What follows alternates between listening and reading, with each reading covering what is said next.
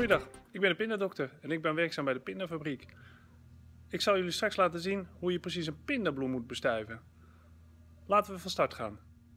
Zoals je op de website hebt kunnen zien, is dit een bloem van de pindaplant. Het is een ingewikkelde bloem met verschillende onderdelen. En op de website, de pagina van de pindadokter, kan je zien hoe die opgebouwd is. Hier heb je de pindabloem. Dit zijn de vlaggen. En dit zijn de zwaarden. Die halen we eraf.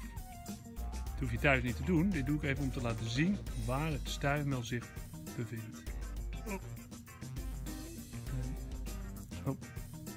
Zo. Kijk, daar heb je het haakje. En daarin bevinden zich de meeldraden. Kijk, daar zie je ze. Meeldraden en daartussenin verstopt zit de stempel. Oké, ik heb dus die huls om de meeldraden en de stempel heen zaten verwijderd. Het is een heel geprieg, priegel. De beste beweging om het nu te bestuiven is van de bloem af naar buiten toe. Dus onder, hup, zo naar boven. Het is niet noodzakelijk om die huls te verwijderen, maar je kan wel goed zien hoe het in elkaar steekt.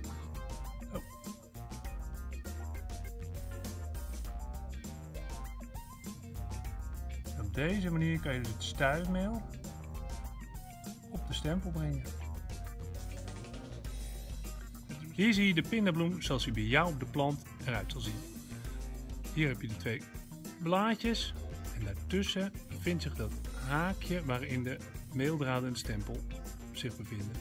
Wat je moet doen is je gaat met je kwastje onderlangs en maakt deze beweging dus van de bloem langs het haakje naar boven. En daarmee breng je het stuifmeel op de stempel aan. Dit doe je het liefst aan het einde van de dag als de bloem lekker rijp is en veel stuifmeel zal geven. Als je dat gedaan hebt, dan ben je klaar. Dus een paar keer van onder naar boven. En dat is het. Dat was de uitleg voor deze keer. Ik hoop dat je er wat wijs van bent geworden. Heb je vragen? Dan kun je het altijd op de mail zetten naar de Pindadokter.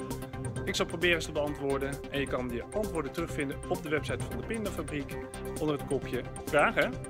Oké, doei, zet hem op!